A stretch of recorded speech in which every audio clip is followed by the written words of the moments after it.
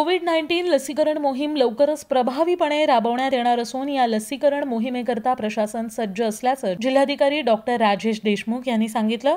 कोविडमध्ये लसीकरण हा एक अतिशय महत्त्वाचा टप्पा आहे. आणि ह्या लसीकरणाच्या अनुषंगानं पूर्वतयारी आणि ड्राय रन रंगीत तालीम आज पुणे जिल्ह्यामध्ये तीन संस्थांमध्ये करण्यात येत आहे. ते प्राथमिक आरोग्य केंद्र मान त्याचप्रमाणे sub district hospital district hospital Aundh आणि पिंपरी चिंचवडमध्ये जिजामाता रुग्णालयामध्ये आज ड्राय रन करण्यात येते.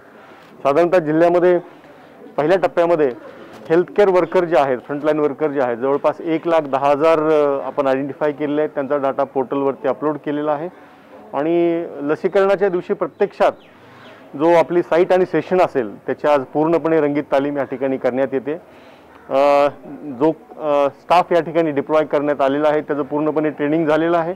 आणि वॅक्सिनेशनच्या दिवशी ज्या पद्धतीनं हेल्थकेअर वर्करला आयडेंटिफिकेशन असेल त्याचा डाटा अपलोड करणं असेल प्रत्यक्षात वॅक्सिन देणं असेल आणि वॅक्सिन दिल्यानंतर त्याचं ऑब्झर्वेशनमध्ये अर्धा तास ठेवणं असेल याची सर्व पूर्वतयारी आणि अरेंजमेंट्स आपण आज या ठिकाणी प्रत्यक्षात पाहिलेली आहे. आणि आपण व्हॅक्सिन येण्याची वाट पाहतोय.